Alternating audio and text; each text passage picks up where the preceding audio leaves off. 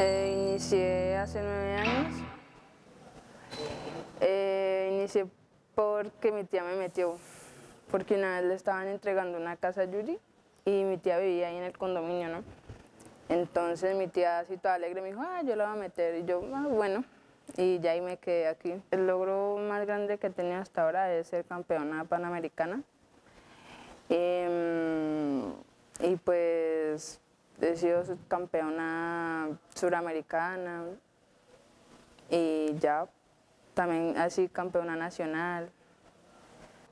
Em, pues así los nacionales que han hecho, siempre he quedado de primera. Eh, unos en Bogotá, hicieron uno en Bucaramanga y quedé de segunda.